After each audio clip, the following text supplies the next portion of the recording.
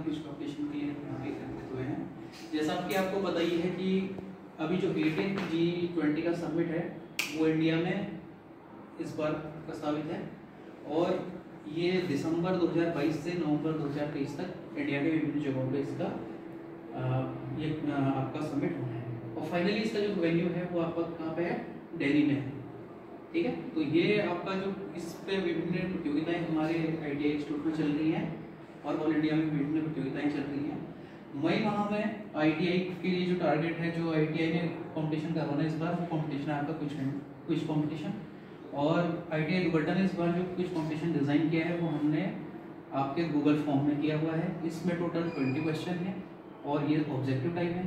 आप इसमें केवल एक सिंगल टाइम में ही आपको आंसर देना है सबमिट कर देना है। आपका स्कोर आपकी ईमेल आईडी पे पहुँच ठीक है?